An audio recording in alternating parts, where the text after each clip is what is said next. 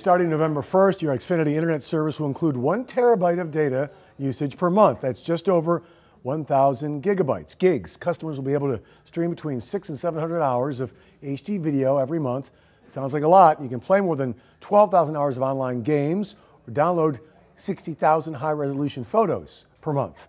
Sounds really good, right? So you know there could be a catch here. If you don't have cable TV with Xfinity, and you rely heavily on streaming videos, you could go over that data limit, and that is really expensive. If customers exceed that one terabyte data limit per month, it'll cost you $10 for each additional data block, up to 50 more gigabytes a month.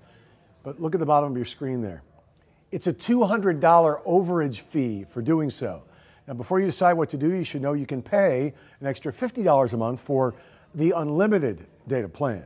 Xfinity Management says less than 1% of the customers exceed that one terabyte of data usage per month. And if you do go over the data limit, Xfinity will give you two what they're calling courtesy months.